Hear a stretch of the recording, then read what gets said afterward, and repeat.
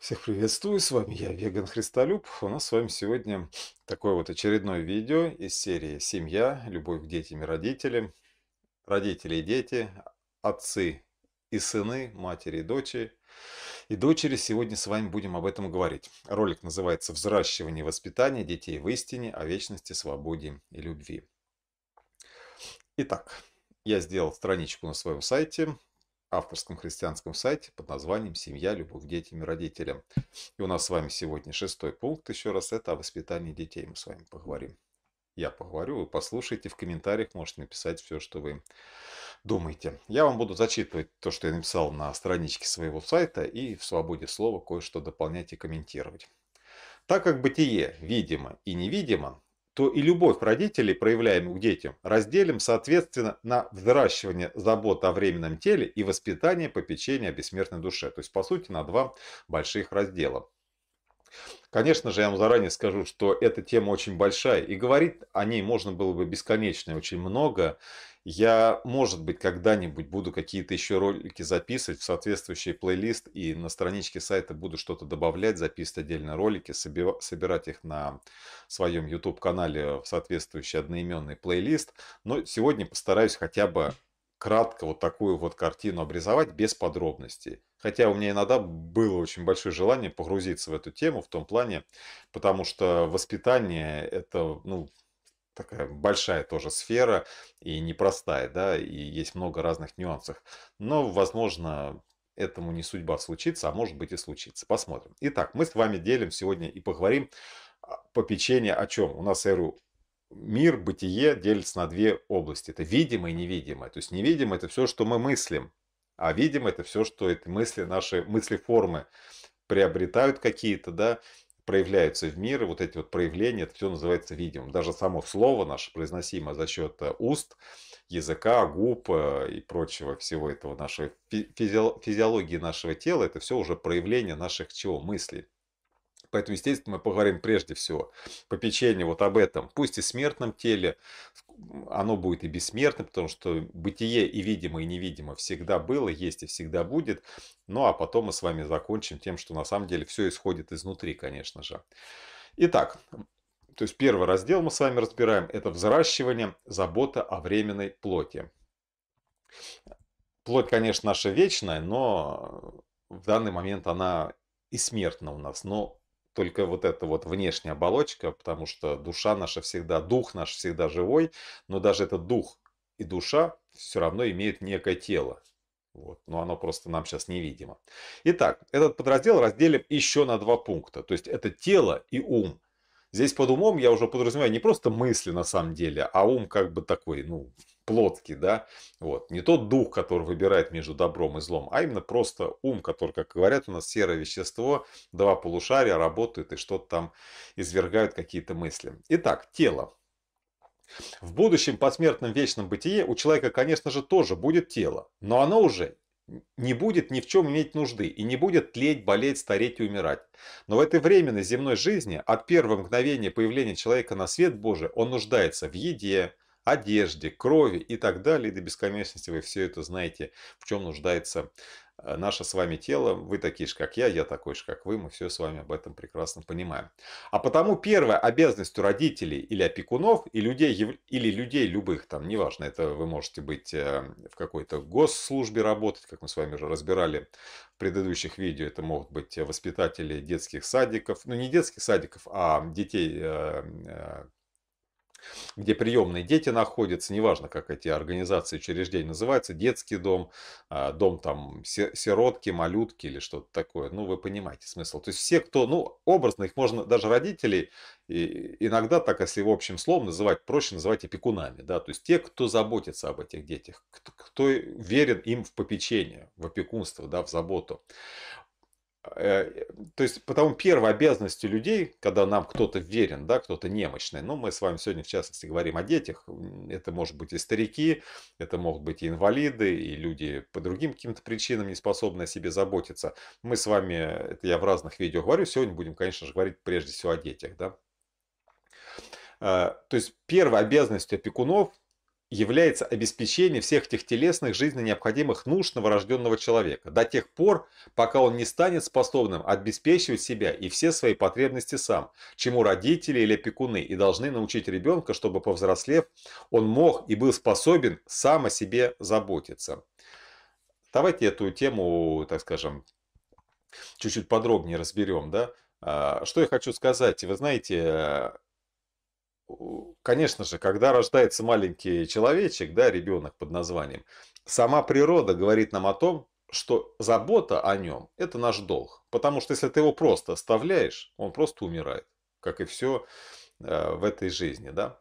То есть он нуждается в, воде, в еде прежде всего, в одежде, да, в крови и прочих вещах он, естественно, тоже смотрит, начинает смотреть этот маленькое существо, он начинает слушать, он начинает чувствовать, он начинает осязать запахи, да, и через все органы своих чувств он начинает воспринимать этот мир. То есть, естественно, первой заботой опекуна является что? Поддержание жизнеспособности, причем такой нормальной жизнеспособности этого живого существа. Это очень важно, да? Кто знает, э, в самолете есть такая инструкция, что когда какая-то там авария происходит, разгерметизация салона, там выпадают эти кислородные маски, то прежде всего, даже, даже там не просто говорится о ком-то, а именно что родители с детьми прежде всего должны одеть маску не на ребенка, а на себя. Потому что если они не наденут маску на себя, оденут маску не, не на себя, а на ребенка, они сами помрут и точно ничего не смогут сделать. То есть, прежде всего, мы, конечно, родители сначала на себя надевают маску, сами потом дают что-то или пытаются спастись вместе с этим ребенком. Ну, понятно, сейчас оставим в стороне вопрос, как можно спастись из падающего самолета, но таковы инструкции. Здесь то же самое. Конечно же, в жизни мы прежде всего делаем э, самодостаточной свою жизнь в каком плане, чтобы она была хотя бы как-то жизнеспособна. Если мы сами не двигаемся, как мы кому-то поможем, да? То есть мы сначала сами себя то же самое, еду обеспечиваем, кровь, одежду, но когда появляется маленький ребенок, мы уже это делаем помимо себя и ему, да? Потому что прежде, чтобы он вырос в, в Бога, да, да, мы все когда-то обретем бессмертное тело, то тело, которое мы потеряли в раю, мы снова его в небесном царстве по воскресенье, кто, кто удостоится первого воскресенья, да, и тысячелетнего царства со Христом, то тогда обретет это тело. Конечно, у нас будет бессмертное тело. Нетленно, нестрадательное, все это будет. Но все это уже будет, так скажем, получать а, здравая, выросшая личность. А пока мы здесь с вами на первом этапе школе жизни, как я ее называю, когда мы только учимся познавать, что такое добро и зло, и будучи свободным, выбираем между этим добром и злом, и от этого зависит наше будущее бытие, и это бытие в том числе, да, счастливы мы в нем или несчастливы. Творя зло, мы всегда будем несчастливы, творя добро, мы всегда будем счастливы. Даже если кто-то нам на это добро будет отвечать злом, все равно в душе мы всегда будем счастливы, потому что сами мы этого зла не делаем. Итак, первая обязанность, конечно же, этого живого существа, который еще духом или душой там практически ничего не воспринимает, это забота о теле. Естественно, по мере возрастания этого живого существа, этого ребеночка, что забота о теле должна постепенно отходить на второй план, да, а забота о душе, то есть это вот, вот ровно, если взять два, знаете, как сообщающие сосуды, кто знает, есть такие с водичкой, да, такие водяные уровни у строителей. То, естественно, сначала, ну, там немножко другая схема, они всегда ровные, да. Как бы ты там не поднимал, вода будет уравниваться. То здесь как бы тоже мож, можно и, и, и такой пример привести, а можно наоборот, что они от 0 до 100 в разные точки, но потом э, переходит одно в 100, другое в 0, да.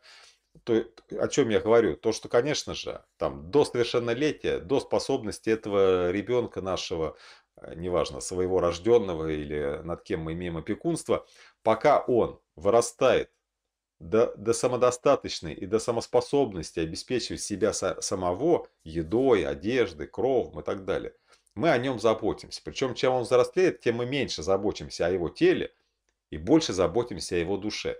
И к совершеннолетию должна прийти чего? Если у нас, я говорю, вначале был ноль, мы заботились о душе и 100% мы должны заботиться о теле, то я говорю, потом эти две диаграммы, вот так, эти столбика, наоборот, меняется. То есть к совершеннолетию мы должны до нуля, можно сказать, довести заботу о теле нашего ребенка и до 100% довести заботу о его душе, да. Поэтому, конечно же, если вы в год ребеночка не кормите, это грех, это зло, ребенок там умирает, да. Если вы в год э, у ребеночка не меняете там памперс, не подтираете ему попу, это, это зло, это грех. Но если вы уже в 5 лет, когда он сам способен ходить на унитаз, подтирать себе попу, если вы в 5 лет подтираете за ним попу, это уже не добродетель, который вы делали в годовалом возрасте над ребенком, а это уже зло, потому что вы ребенку, который способен двигать руками, способен сам сходить в туалет, подтереть себе попу. Если вы будете до 5 лет подтирать ему попу, а если еще тем более до 10 лет, то вы делаете зло. Вы своего ребенка делаете немощное, никудышное существо.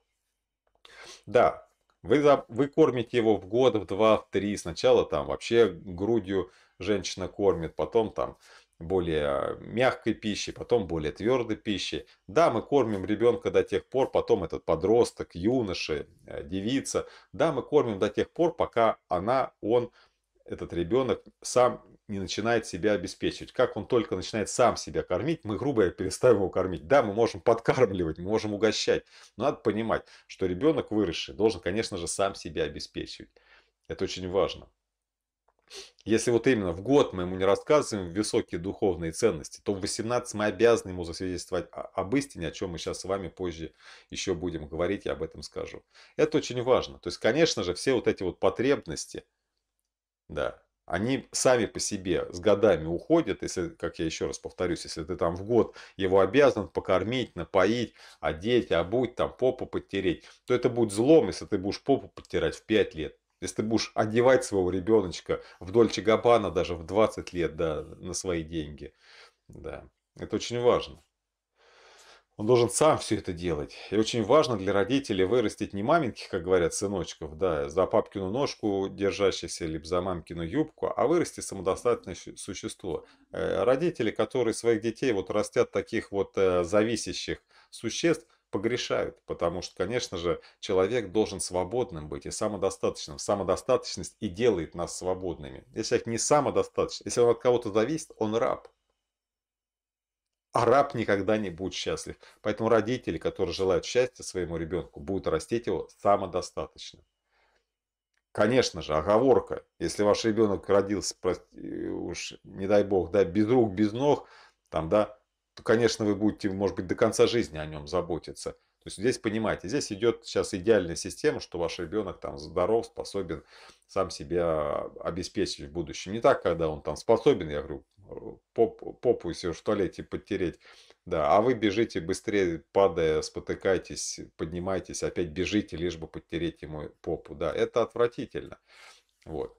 То есть, когда он уже может все это делать сам, родитель должен не просто позволять, естественно, а, ну, не заставлять, да, а, а давать ему это делать самому. Более того, вот именно, ни в коем случае, я говорю, не делать этого.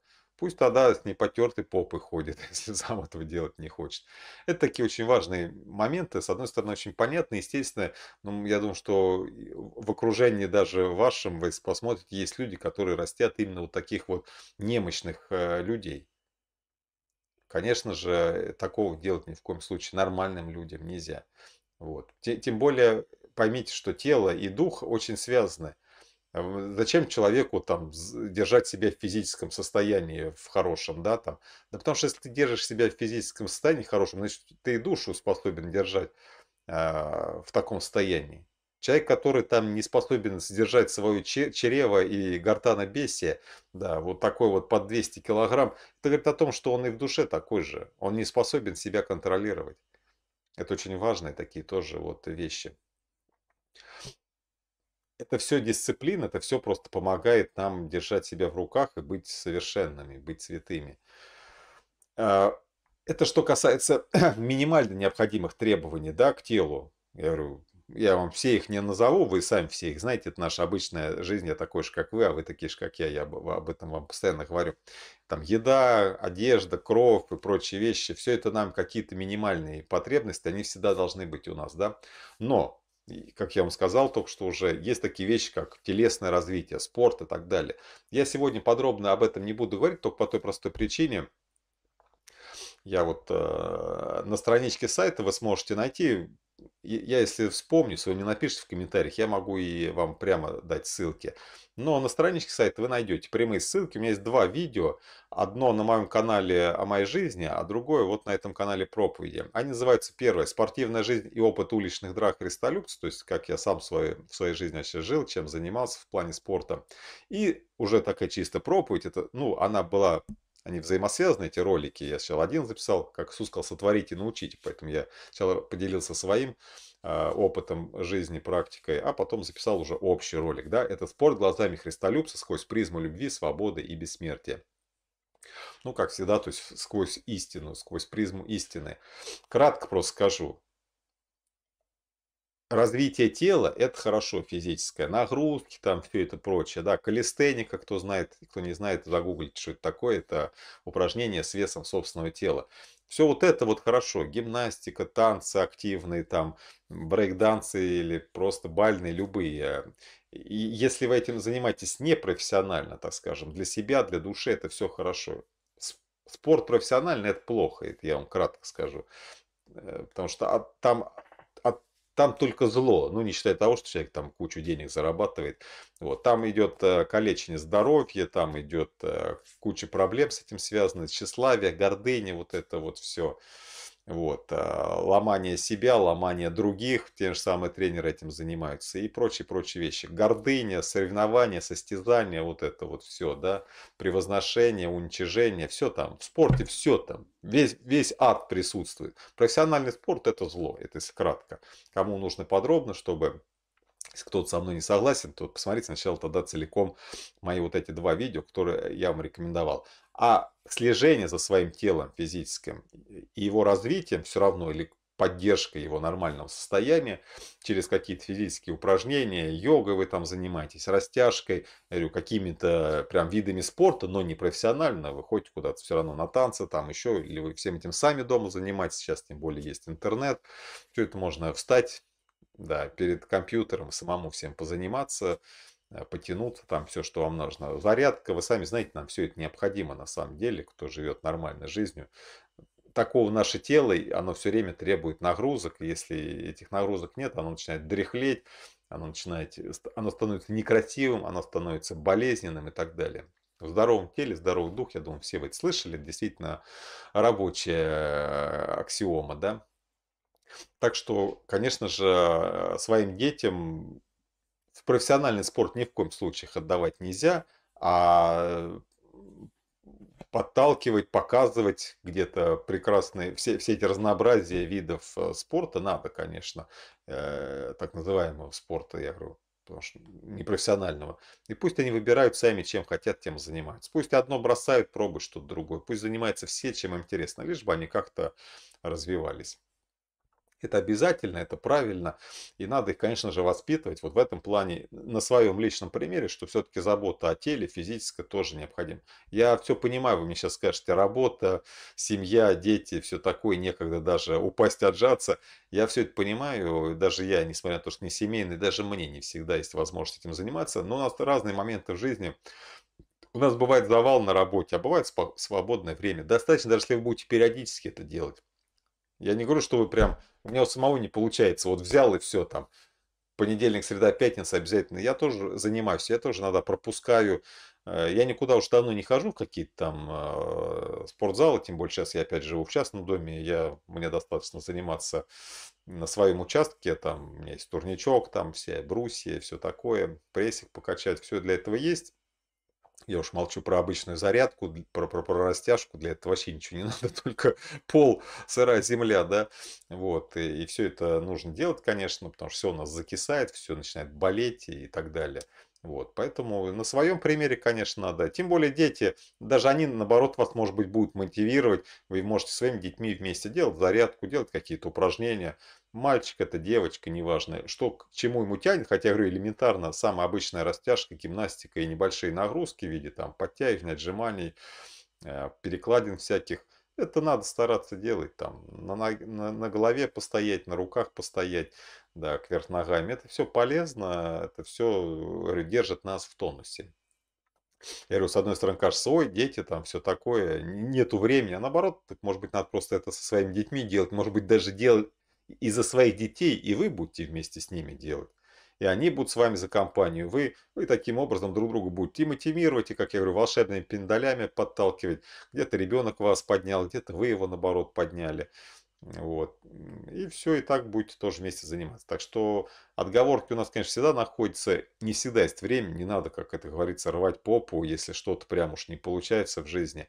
Э, вот. Но достаточно даже, если вы этим будете заниматься периодически, к этому просто будете возвращаться. Ну, вот такой вот. То есть тело, давайте за такую конечную итог подведем, черту, да. Тело – это очень важно. Забота о теле тоже важно. В здоровом теле здоровый дух, в красивом теле красивая душа. Я не говорю, если у вас от природы какие-то там увечья, но, знаете, то же самое ожирение, а, дряхлость вот эта, болезненность, это все тоже от нас самих зависит. Вы же поймите, роптать на Бога, там, на свои болячки, когда мы сами. Мы почему думаем, что нам только Бог верил о душе заботиться, а о теле. А оно разве нам не дано? Дано. Мы разве не заботимся о своем доме? Мы, значит, время там помыть машину, пропылесосить, за ней там поухаживать, пылинки сдувать мы находим. В доме убраться мы время находим. А убрать собственное тело в порядок мы времени не находим. Хотя это самая важная вещь, потому что нет здоровья того же самого. Тебе никакой дом красивый и помытая машина не нужна.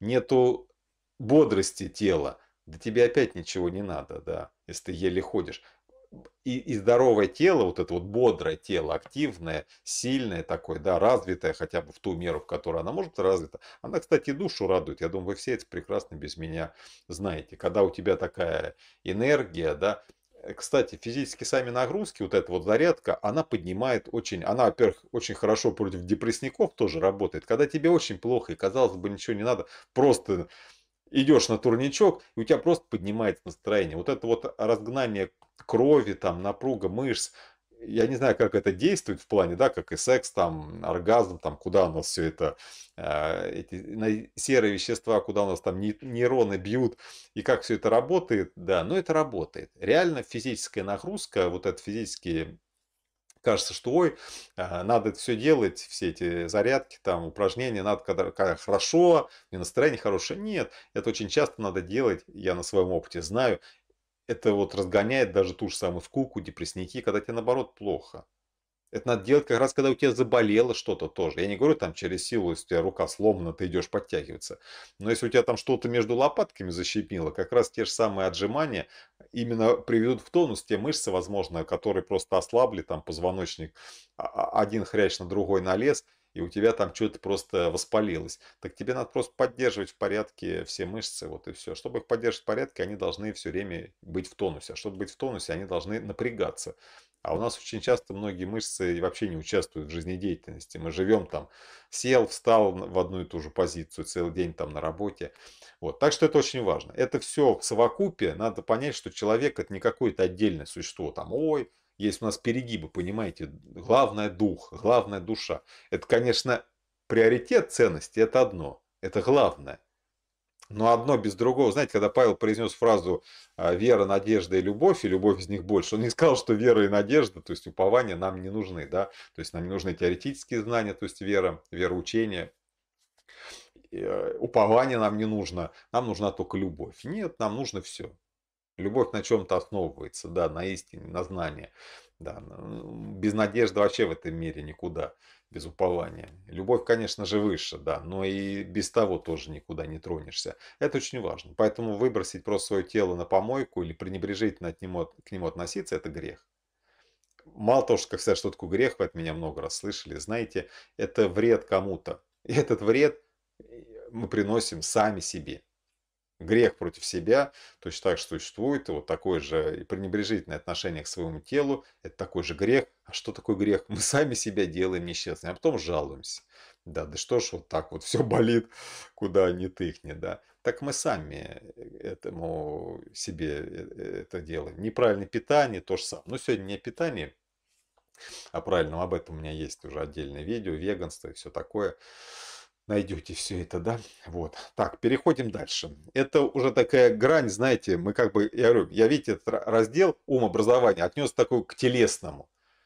Хоть я вам говорил, что есть мир видимый и невидимый, и мы как бы с вами делим э, воспитание э, именно духа, да, и попечения о теле, но все-таки, видите, здесь ум я отнес к телесному в том плане, я беру, как это говорят у нас у людей э, верующих, как это говорят, есть плотский ум такое понятие, да, то есть я беру здесь как под умом, как, под умом как тело все-таки, знаете, вы поняли, то есть вот как любят вот это наши два полушария, вот это вот в коробочке, то, что у нас там защищена вот эта вот э, субстанция, там вот эти нейрончики, в чем ученые любят поковыряться. Я вот про этот ум. Естественно, я говорю конкретно об образовании, да, то есть о знаниях, не об уме, в том плане, что я способен избирать между добром и злом, да, а что вот именно я умный, да, я вот много знаю чего, да, в этом мире. Давайте так, что в этом поговорим. Это очень большая тема. С одной стороны, ее можно было бы развить тоже. Я скажу кратко, я говорю, если когда-нибудь Бог благословит и будет возможность и желание проживать эту тему, я это сделаю. Но сегодня скажу об этом достаточно кратко. Итак, образование. Я даже сегодня не буду брать какое-нибудь дошкольное. Хотя, вернее, да, давайте я даже я тут написал школа, в принципе. Давайте я о школах прочитаю, и то же самое будет, в принципе, к дошкольному образованию относиться. Школы, в которых все мы с вами учились, ну, я буду говорить э, относительно себя, мне 40 лет, э, школа моя прошла в 90-х, это 90, ну, 90-е прям, да, э, в 89-м я поступил в 6 лет, в школу был отдан, и в 99-м я закончил 11 классов, четвертый пролетели, вот они, получается, все складывается. А, то есть моя школа – школа 90-х. Но сейчас я не думаю, что что-то там сильно лучше или хуже. Все это будет в рамках того, что я скажу. Итак, школы, в которых все мы с вами учились, просто ужасны. С раннего детства и практически до совершеннолетия ребенок, а затем подросток, полдня в школе, а затем полдня дома, проводит, сидя за партой, впихивая в себя кучу ненужной ему информации, которой он, возможно, никогда и не воспользуется. Вся эта оценочная система лишь сеет между детьми вражду и расслоение, ненужную гонку за хорошими оценками, страхи перед родителями за неуспеваемость, постоянный стресс и волнение. Все, что нужно дать детям в плане образования, так это первое, базовые знания, а это какие конкретные? Это чтение, письмо и счет. Три всего вещи простых. А второе, возможность и условия познавать мир и жизнедеятельность человека во всех, во всех ее формах и проявлениях и разнообразиях. А ребенок пусть сам пробует себя во всем, что будет интересовать, куда он будет, куда его будет тянуть. Итак, Давайте кратко все равно о дошкольном еще образовании. То есть школа у нас считается, вот я, меня в 6 отдали, кто-то даже в моем классе, средний это было семилетки, а были даже восьмилетки. Ну, там, правда, между нами была практически всего лишь год разница, потому что я, у меня 3 января день рождения, а у них в декабре в основном. То есть мы, в принципе, у нас год всего разница, но по факту как будто два. Я с 83-го, а были ребята в нашем классе даже с 81-го. Но основной год был 82-й. И школа-то это ужас. А уж дошкольное образование я вообще молчу. Бедные дети, мне хочется сказать. Я, у меня вот сейчас нет детей, я не в курсе вообще, что сейчас в этом плане творится, но я думаю, что там шиза э, вообще захлестывает э, в современном мире, потому что, я говорю, вообще, знаете, когда мир стал техногенным, он и до этого, знаете, думает, что вот школы, это вот высшее образование, тут недавнешнее изобретение, все чепуха, доучились от первых песен Адама и Евы, вот, в каких-либо учреждениях, это всегда такое было. Но когда просто техногенный мир стал вот такой вот, да, а сейчас он вообще цифровой, можно сказать, да, у нас вообще по-другому, у нас другой поток информации, всего вот этого вот знаний, и, и мир стал очень э, маленьким, мы куда угодно можем полететь, быстро добраться, скоро, может, телепортироваться будем из одной точки в другую, из собственного одного туалета в другой, как это как бы кабинка, из которой мы зашли и у другого в доме очутились, вот, э, то, конечно же, мир стал настолько сложным, с одной стороны, да, у нас столько информации, да, если я помню, знаете, возьму пример вам по машинам, если первый автомобиль, мотоцикл я сам собственными руками там пытался что-то ремонтировать, это было вполне реально, то сейчас, не знаю, влезть в автомобиль в современный практически ни одному человеку нереально, потому что настолько всего награждено и пересечено там все, и электроника, и механика, и там черт ногу сломит. Это уже совокупный разум разных людей в разных областях специализирующих, что уже практически не понять, как там что. Ну, что-то можно базовое ремонтировать самому даже, но далеко тоже не залезешь, потому что все там очень сложно переплетено стало.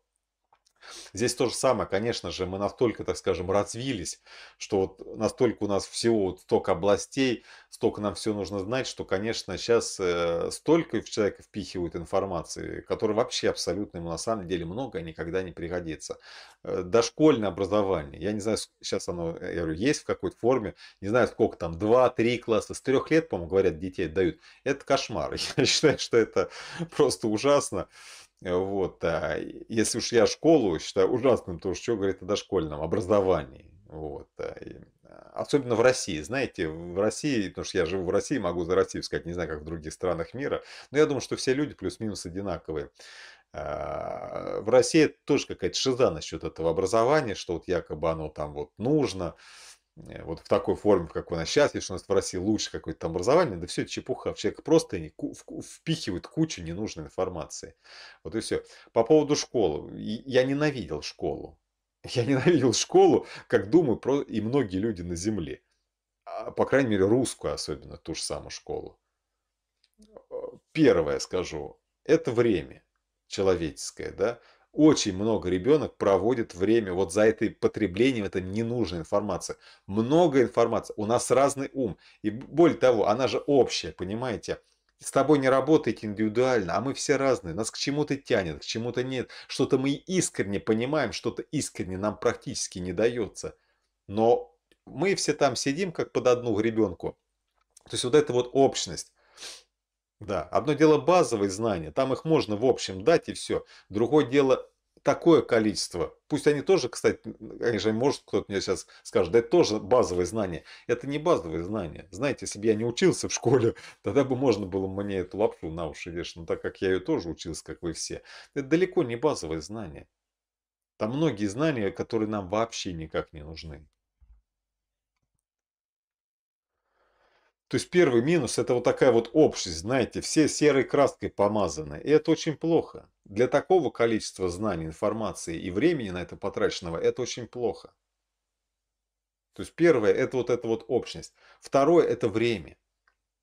Я вот сейчас уж не помню, сколько там, 5-6 было уроков. То есть мы 8, грубо говоря, начинали, 8.30 у нас было начало. Заканчивали, по-моему, в час или полвторого, полвторого, по-моему, заканчивался. У кого с 8, у того в час заканчивался пока домой дойдешь, пока из школы, да, из дома в школу, из школы домой, пришел, поел, надо опять делать это какую-то домашнюю. У тебя практически весь день с 8 до 6, как у взрослого человека, проходит вот за этой чепухой. Ты еле ты практически не видишься со своими там друзьями. Занимаешься чепухой, который даже не понимаешь, зачем тебе. Это очень важно. С тобой на самом деле у родителей нет времени, желания зачастую заниматься. Ты многие вещи ты не понимаешь. Тебе надо ждать там вечера родителей, когда они там придут. Им тоже все это некогда, они работают, когда сам вырастаешь, понимаешь, насколько все это бессмысленно, да? Сколько на это на все тратится времени. Это все абсолютно никому не нужно. Основной информации, которую... Вот возьмите там химию. Много ты помнишь оттуда из химии. Ну что ты помнишь? Что ты применяешь в своей реальной жизни вообще на практике? Я уж молчу про эти, помнишь эти теоретические знания. Что ты применяешь? Ты помнишь хоть один э, стих, прочитанный по литературе или что? Нет. Много ты там книжек прочитал из-под палки, которые вообще не нужны нормальному ребенку та литература, которая в современных русских школах особенно преподается, там вообще ничего нужного нет. Читать Толстого «Войну и мир» в 10 классе – это отвратительно. Мало того, что сам Толстой называл это самой отвратительной своей книгой, и никогда тебе в школе это не расскажут. Тебе не расскажут, что Толстой был веганом, пацифистом. Тебе будут рассказывать всякую дрянь про то, что вот война и мир, да, защита Родины, солдаты, аля и все прочее. Да, и читать э, эту пургу про войну и мир, про эти все страсти, мордасти, сексы, измены там, да, полная чепуха. И никакого нормального разбора там не будет. Кто там будет разбирать эту войну и мир? Да, расистка какая-нибудь, милитаристка, патриотка, снопка, да, мужчина и женщина, брак, семья, дети, бьет, значит, любит. И все вот это вот, а домашнее насилие, форева. Э, что, кто там сможет кого что научить? Третье, плавно перешли, это преподаватели, так называемые. Называют их не преподавателями, а учителями. А вообще не учителями, а воспитателями. У меня все проблемы были и все плохие оценки были из-за поведения. И в школе их не разделяют.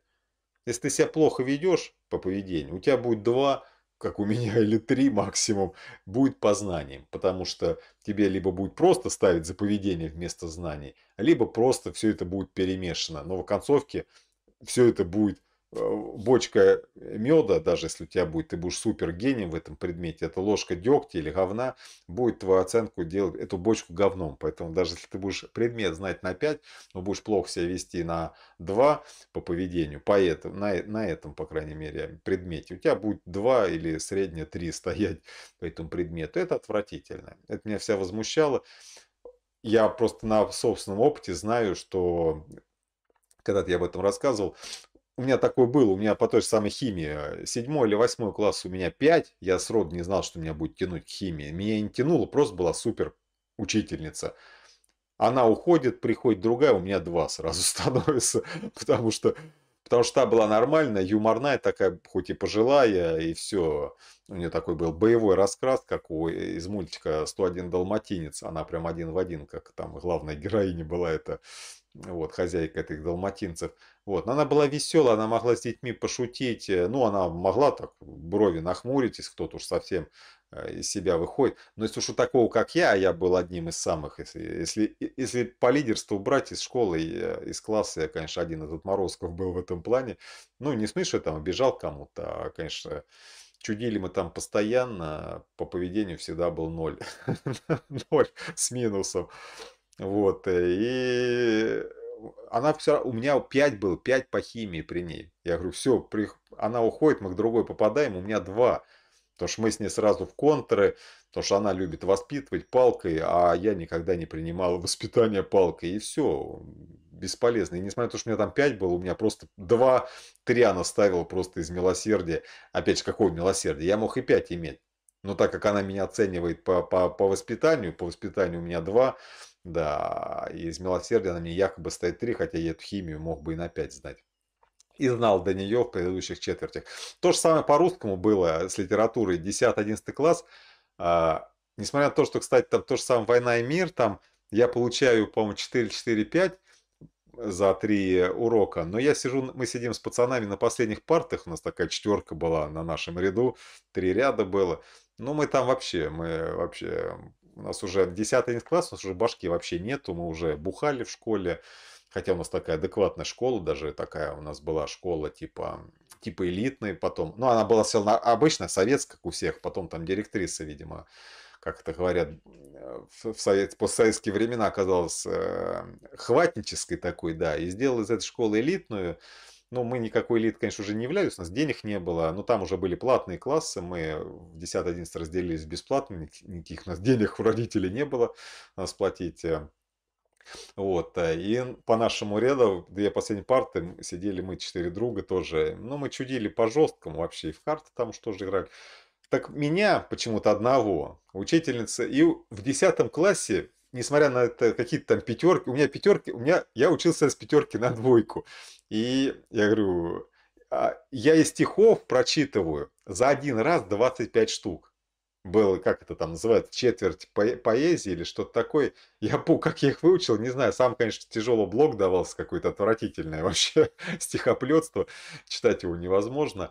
Вот. Но я все стихи там на четверке... Короче, ну в оконцовке я помню, что в году она нам с другом ставит 2-2 по русскому по литературе. Уже думали, в другую школу идем. Вообще на все забили. Она нас там куда-то приглашала, чтобы мы должны были прийти там что-то уже летом.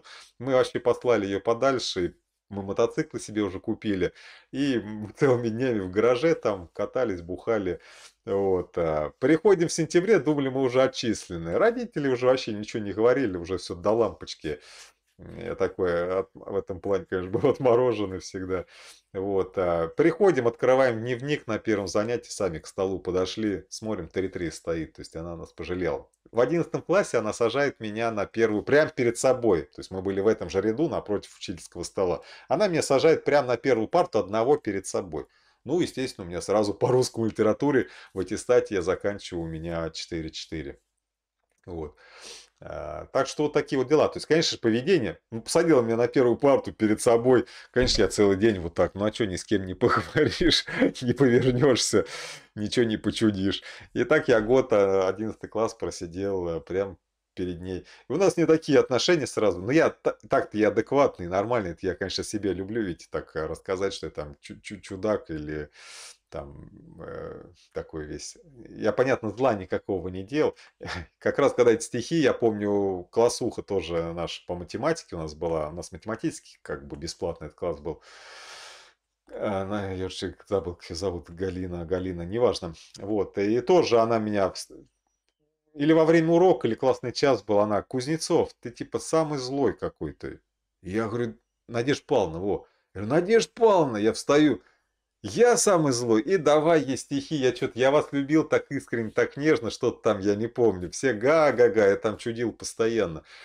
Как раз, я говорю, была четверть поэзии по литературе.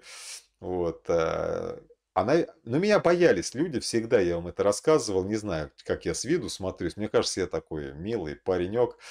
Вот. Э, но меня всегда люди боялись все равно, знаете. Э, почему-то я в людей вселял, с одной стороны, и, и страх такой.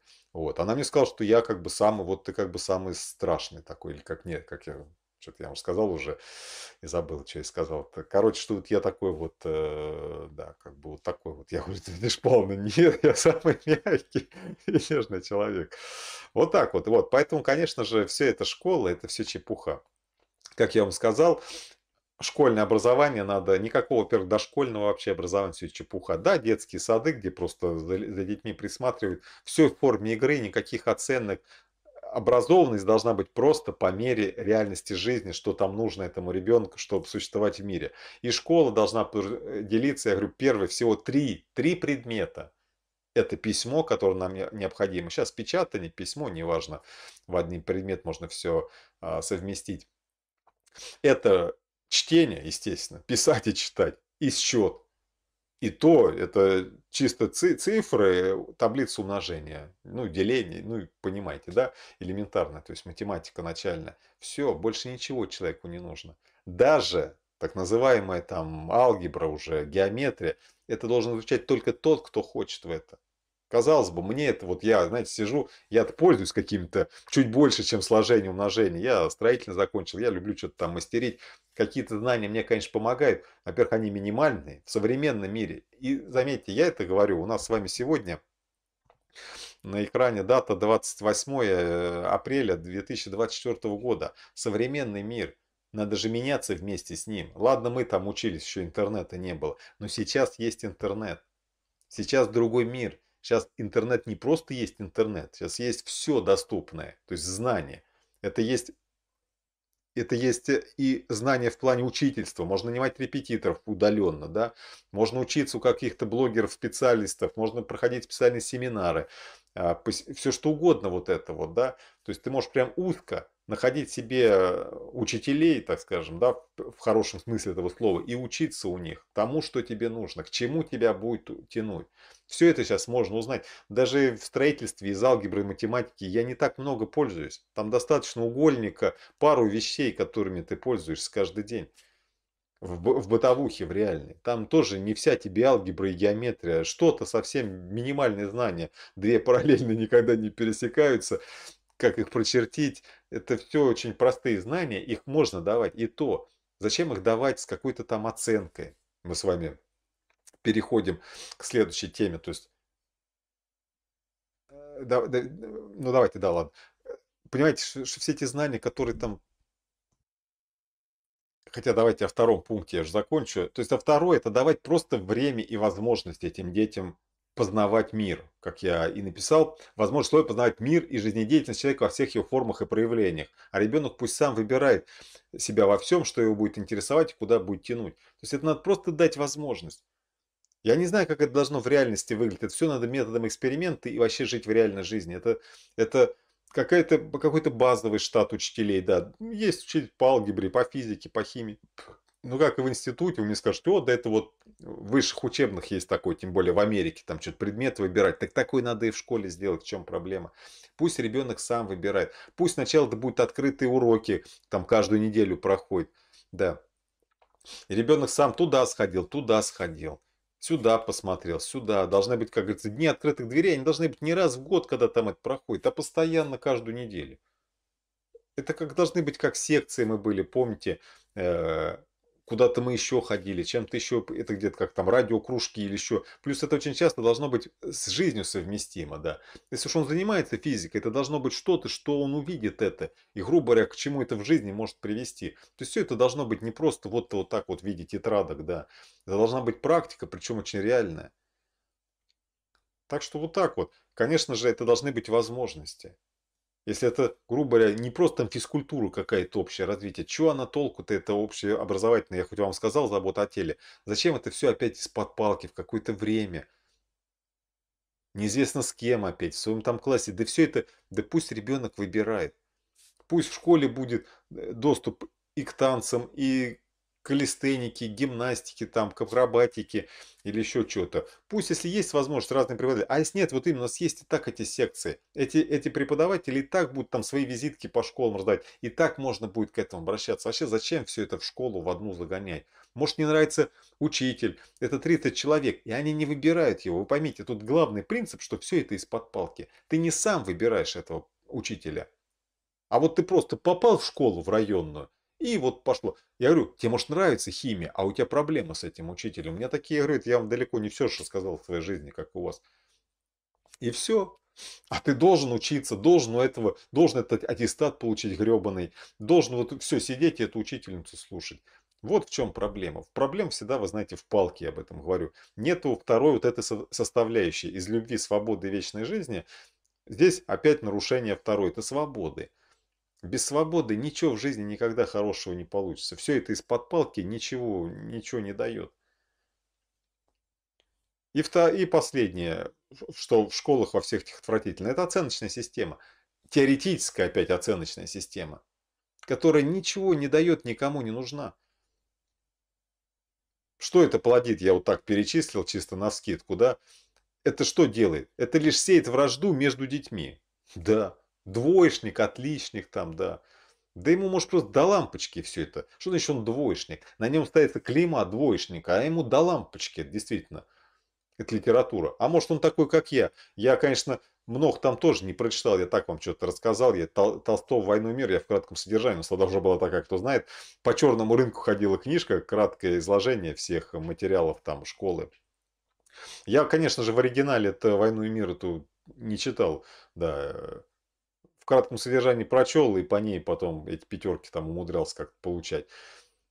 Зачем мне все это? Мне не интересны были эти книжки. И кто знает, когда я вырос, когда покаялся, когда Бог меня к себе привел, да, сколько я стал читать там всего, изучать, исследовать, да и до, до, до покаяния пару книжек прочитал в своей жизни, какие мне были интересны, художественные там, да, вот. А что толку-то все это из-под палки читать-то?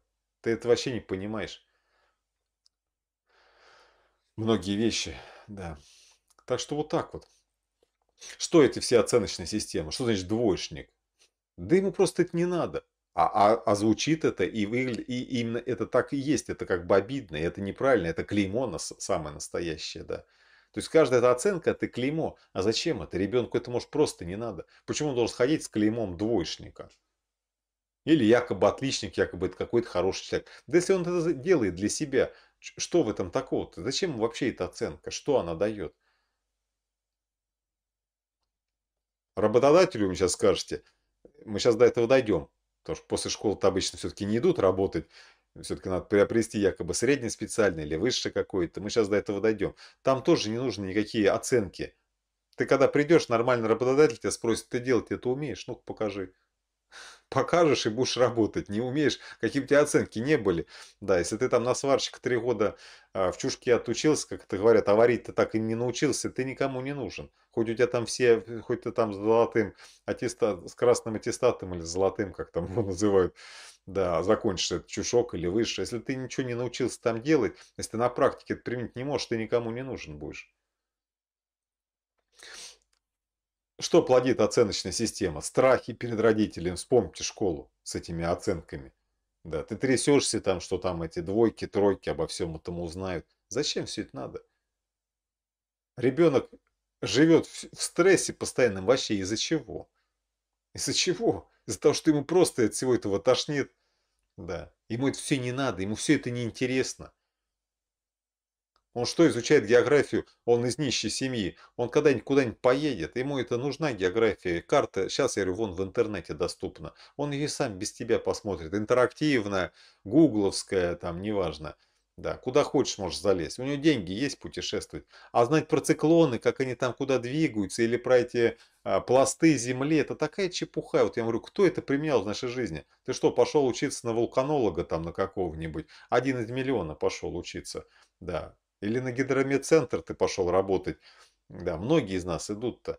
Это можно кого-то познакомить с этим без оценочной системы, даже без всякого зачета и не зачета, как там в институте такую чепуху придумали. Зачем это вообще? Если вы хотите просто сделать человека разностороннего, пожалуйста, сделайте это в свободной форме, как я говорю, чтобы совсем человек мог познакомиться. Все. Зачем все вот это вот? Что она делает из человека? Кого? Несчастного ребенка только делаем. Мы, мы в обществе, мы, мы сами себя делаем несчастным. Детей своих делаем, взрослых. Чего это дает-то? Ничего. Что вот это дает 11 лет палочного образования? Ничего вообще.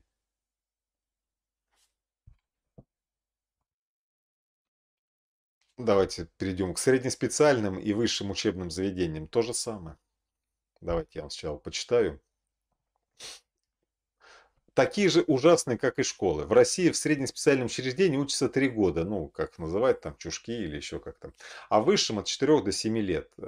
Если отбросить всю лишнюю нагроможденность учебного курса, то время обучения можно свести максимум в среднеспециальном учреждении до 6 месяцев, а в высшем от 1 года до 3 лет. А дальше только практика и дальнейшее развитие через новые знания и открытия. Среднеспециальные. Вы знаете, у меня, так как я люблю руками что-то делать, у меня вот куча специальностей. Я могу и варить, и паять, и, и что только не могу, да. В разных могу вещах делать.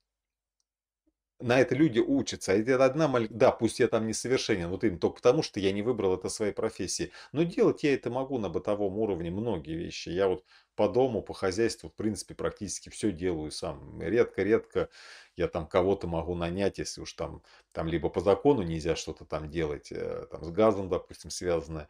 Вот. Но я все стараюсь сам делать, у меня к этому есть предрасположенность. Но опять же, да, я, я там не совершенен во всем этом. Человек, который этим профессионально занимается, конечно же, да, как я сварю и как профессиональный сварщик сварит разные вещи. Но только почему? Не потому, что он отучился три года в чушке, он это сделает лучше меня, а потому, что он занимается этим каждый день. Изо дня в день практикуя и нарабатывая свои навыки и, и приобретая опыт. Вот и все. Чтобы на сварщика отучиться, зачем три, три года сидеть в чушке? Три года! Зачем? Зачем? А в современном мире, я говорю, это вообще не нужно. Вообще не нужно. Даже месяц там делать нечего. У нас э, в институте, в стройке, когда мы там после каждых, некоторых курсов Э, когда год проходит, у нас были такие практики, то есть у нас был, как же он называется, я уже все это позабывал. Короче, ты там две недели еще ходишь на... Это практика, что ли, называлась? Ну, ты сначала две недели ходишь как раз вот в эти СМУ, типа какие-то, там тебе две недели читают, и потом ты едешь куда-то вот. Там у каждого у каждого э, факультета свои были куда-то там а, ПГСники, прорабы, они там каменщики проходили. То есть они, по сути, будучи выше, с высшим образованием, ты выходишь еще с, с ручной профессии, там каменщика. Ну, я инженер по теплоснабжению, то есть все, что связано с вентиляцией. То есть у меня у корочка есть э, э, монтажник, по-моему, есть, я уже не знаю, где она там, монтажник-вентиляционщик, по-моему, у меня есть. Потому что у нас была кафедра тепловодо-газоснабжения, вот, и ты помимо высшего образования, ты еще получаешь вот такие вот корочки, по сути, можно сказать, вот такие же вот э, среднеспециальное образование, но при этом мы там учились не по, не по три года, мы всего лишь две недели ходили на теорию и якобы должны были там где-то находишь место или тебя посылают на завод э, на практику. Никто почти не ездил, все где-то их подписывали, у кого матери, отцы где-то работали, тем более кто шел, так скажем, по стопам просто родителей учиться там, чтобы потом где-то работать. Вот. Э, мало кто ездил на эти практики, я тоже не был. Я знаю, поэтому вам рассказываю чисто теорию. Мы тогда их покупали, там, там за шоколадки покупалось все это вот эти корочки, потому что никому это не нужно было, то есть просто надо было пройти, пройти и мы проходили. Вот, за шоколадки, за магарычи, потому что никому все это не нужно было, да. Я просто вам про сроки рассказываю, то же самое. Но почему-то в ПТУ надо отучиться три года. Зачем это все? Кому это все нужно? Иди к сварщику сразу в подмастерье. Я говорю, особенно, знаете, надо не забывать, что я сегодняшнее видео записываю в, 20, в 2024 году. Открываешь интернет, вы знаете, мне достаточно было по сварке пару классных роликов посмотреть, где вот так все снято через маску, видно даже как шов он там кладет. Да, красиво прям, вот прям через вот прям как-то они там снимают, я не знаю. Сейчас все доступно. Сейчас есть видео обучающие ролики, где все это смоделировано в программах, как, что, как ты должен сделать. Пожалуйста, изучай. Изучай, смотри, пробуй сразу, практикуй. И все. А на работу заходишь сварщиком устроиться, даже вот я. Думаете, мне корочка нужна? Да я просто приду, скажу, дай мне две детали сварить. Я ему сварю, он на шов посмотрит, и все, и сразу скажет, да, возьмет он меня или нет. Вот и все, никакая корочка ему не нужна.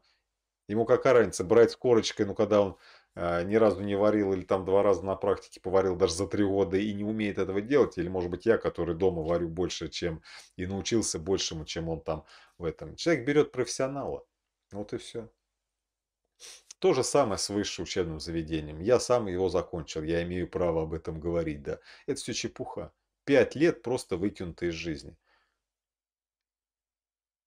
Вот кафедры, которые существуют внутри института, это и должны быть, так скажем, мини-институтами. И то в каждой кафедре еще много, так скажем, подкафедр, то есть специальности. Да, вот у нас было тепло, газоснабжение и вентиляции.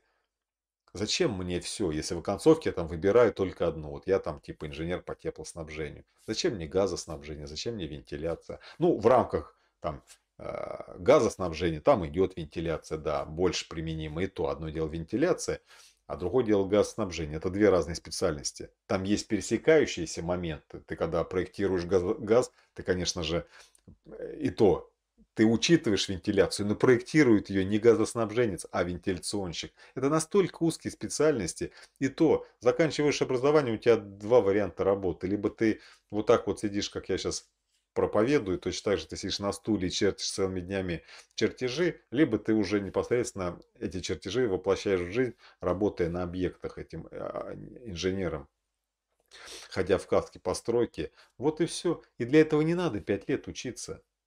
чтобы научиться делать чертежи, познакомиться со всем, как это делать, научиться разрабатывать а, план, там, неважно, вентиляции, а, теплоснабжения, газоснабжения. Год – это максимум. Это максимум. При условии, так, это год при условии полноценной учебы, что ты вот именно с утра опять так же до обеда, у нас там по 6, по, по 3 пары было. Это почти мы там тоже в 2 что ли заканчивали. Это при условии, что ты столько часов в теории учишься, еще дома ты сам все то же самое, практикой все это догоняешь или дополнительной теории, которая тебе нужна. Это год вот так вот, чтобы получить так называемое высшее образование. Вот и все.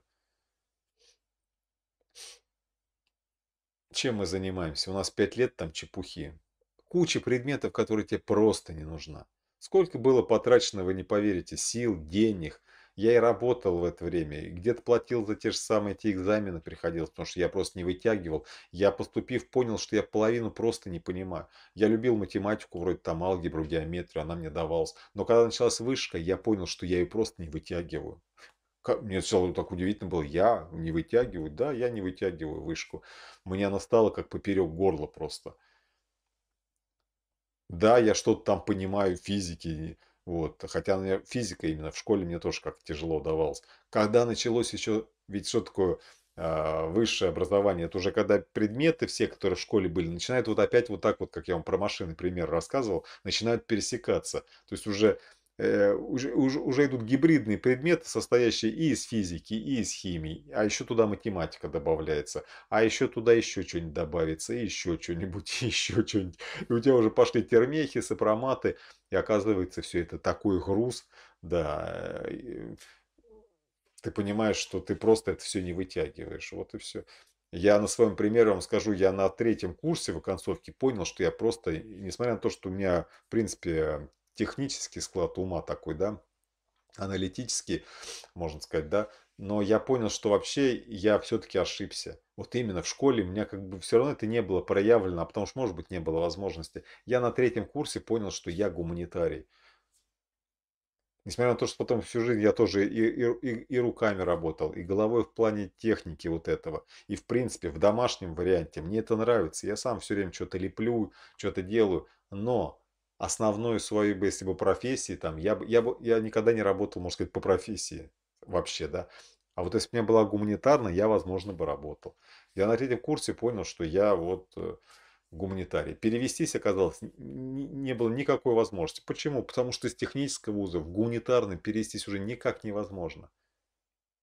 Потому что у нас, у нас ровно диаметральные предметы все, где у нас там зачеты шли за какую-нибудь там э, экономику, философию, историю, то у них все, ну история, про тоже экзамен был, ну неважно, какие другие предметы.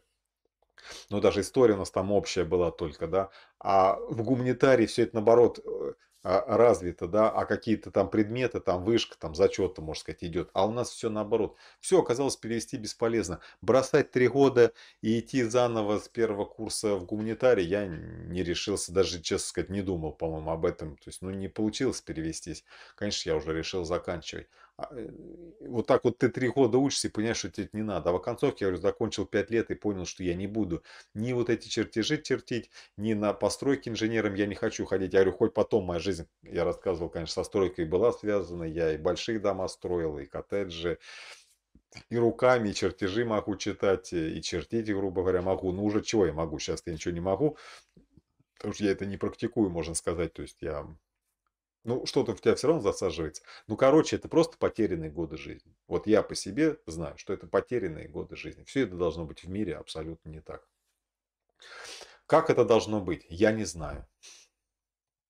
Если меня спросите сегодня, я не знаю, я общий нарисовал, и я бы, просто к чему мы сегодня с вами ведем, воспитание детей. Вот я бы своих детей на сегодняшнее, даже не знаю, отдал бы я их вот в эту вот школу. Если бы отдал бы, я бы дал полную свободу своему ребенку. Потому что мы сегодня с вами должны какой-то итог подвести.